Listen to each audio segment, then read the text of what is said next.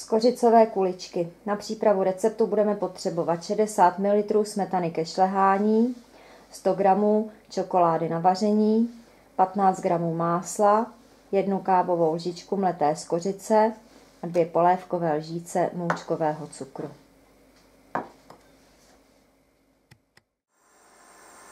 Smetanu krátce povaříme a poté odstavíme.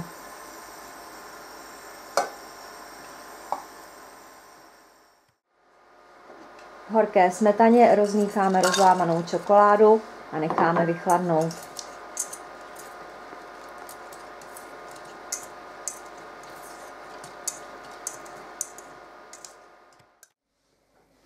Potom vmícháme dvě špetky z kořice, máslo a směs necháme asi jednu hodinu utuhnout v chladničce.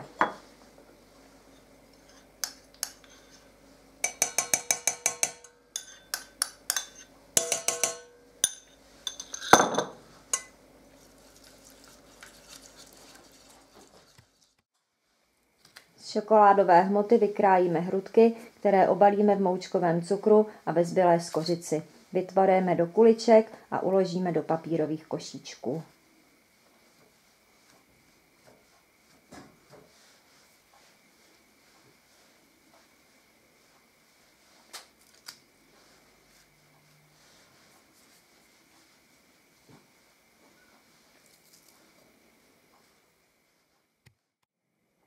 Skořicové kuličky necháme až do podávání na chladném místě.